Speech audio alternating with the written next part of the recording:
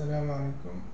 في هذا الدرس في هذا الدرس راح نتحدث على text box word art and equation.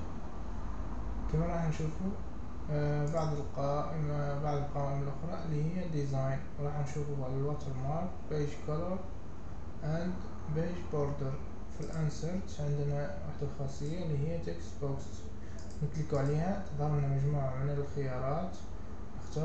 اختاروا simple text box أو draw text box كي نختاروا simple text box راح يظهر text box تاعنا نديرو نورث for example وش الفايدة تاع text box إنه يعطيك صلاحية إنك تتحكم في النص كما حبيت. مفهوم؟ وتحطه في أي مكان موجود في الورقة. مفهوم؟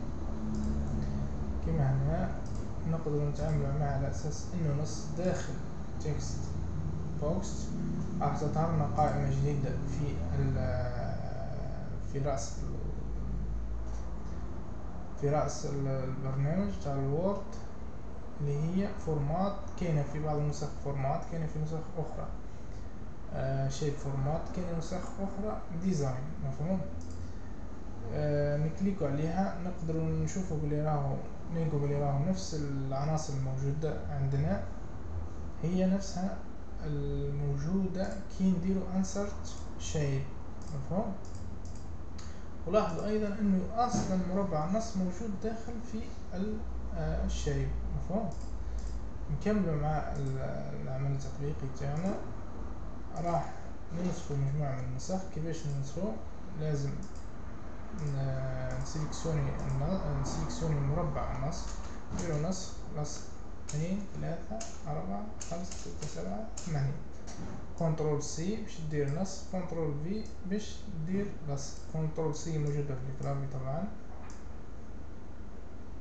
و كنترول في أيضا هي موجودة في الكلافي نديرو ثمانية نسخ كما هنا عندنا. ونبدو هنايا. هذه west. وهذه east. وهذه south. هذه west. South. West هذه هذه s. هذه n وهذه n w? نحركو النص نروح نسيلكسيونيه وندورو شوية هكا. مفهوم نحطوه في المكان حابينه نحنا نفس الشيء بالنسبة لهذا. نحطوه في المكان حابينه نحنا ونفس الشيء بالنسبة لهذا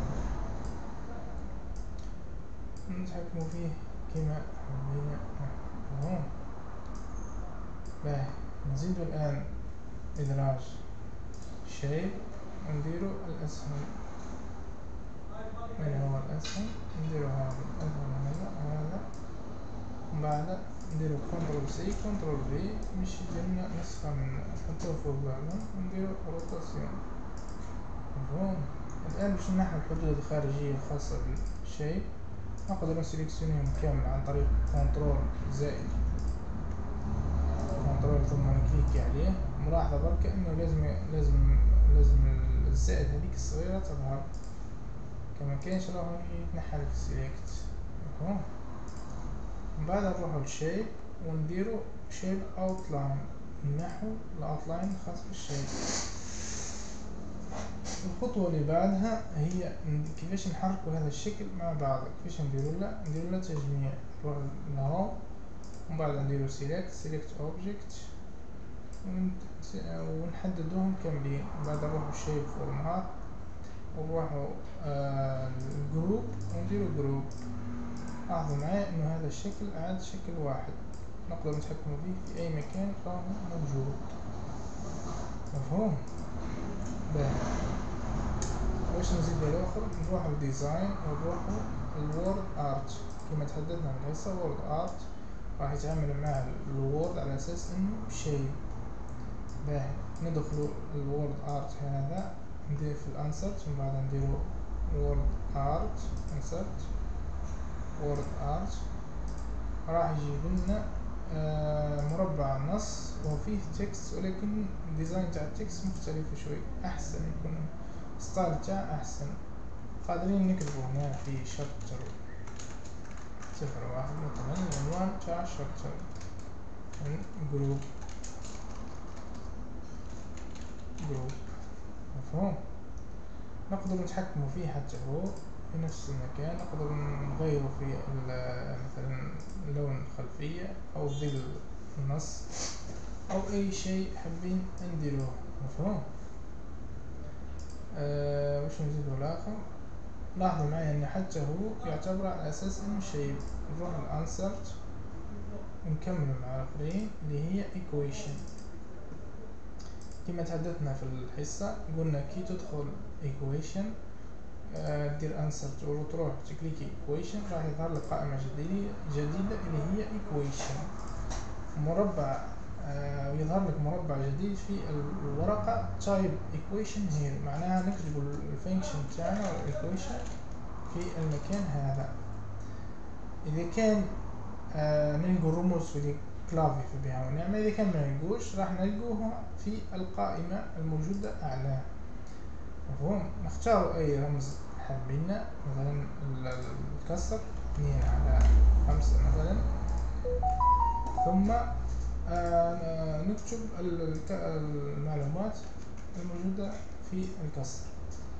إذا كان وجدنا الرمز هنا فبها ونعمة كان ما وجدناش نخدمه بالإنك equation. For example نديرو دلتا دلتا ونديرو insert في حالة ما إذا كان موجدناهاش في الرموز هذه وموجدناهاش في ال ink وموجدناهاش في الرموز هذه نستعين بواحد الحاجة يسمى code ASCII نكليكو Alt ونكتبو الرقم مفهوم؟ كما درنا في الحصة.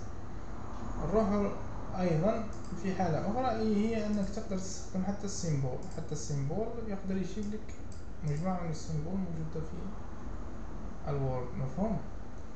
ننتقل للعنصر اللي بعده اللي هو ال design هذا design هدفه تاع إنه يغير لك ال style تاع ال document كامل. يعني مثلا أنت كتبت العناوين الكبيرة مثلا بخط عريض ولا كذا ولا لون معين ودرت درجها simple ولا إلى آخره قادر تختار نوع من ال style الموجودين هنا وراح يبدل لك ال document كامل. نحنا ما يهمناش يعني for example ها؟ شوف معايا إنه الخط قاعد يتغير ها كيما رانا نديرو مفهوم؟ يغير ال document كامل مع بعض مفهوم؟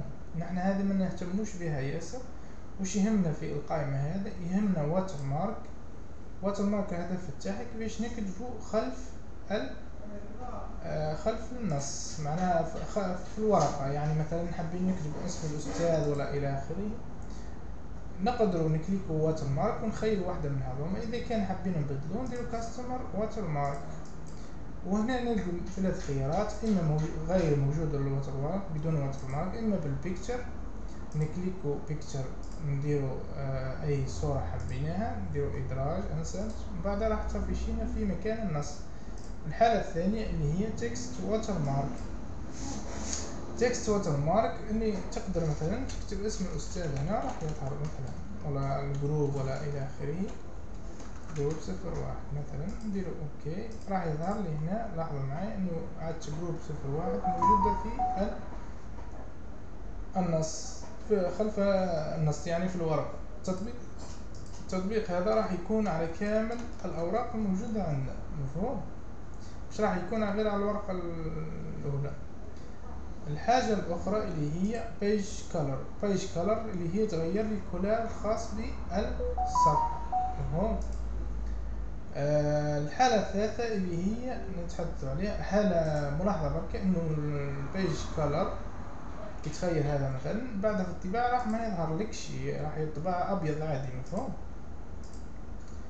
باهي. نكملوا مع page border page border كما هي موجودة كما قلنا في ال design page border نكليكو على page border تجي لنا page واحد النافذة هكا فيها styles تاع page border كما إنه مجموعة من الخيارات الأخرى اللي هي setting يعني est-ce que نديرو لها الظل نديرو لها شي نديرو لها شكل معين آه إلى آخره.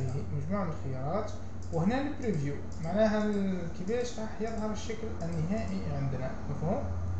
وعندنا تحت apply to est-ce que this section أو this section first page only ولا this section except except the first page. مفهوم؟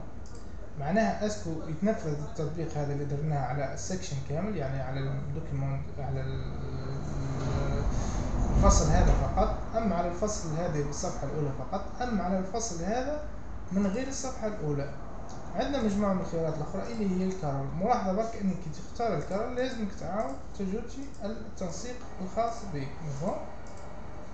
معناها في البريفيو عاد تكليكي على البوطونات هذه باش حتى يطبق على الشيء الموجود هنا قادرين نخشنوا الخط قادرين نصغروه قادرين نبدلوا مثلا عندنا مجموعة من الأشكال الأخرى مثلا هذه إلى آخره مجموعة من الخيارات كي دير ok راح يطبق هذاك الأمر على الصفحات كاملة.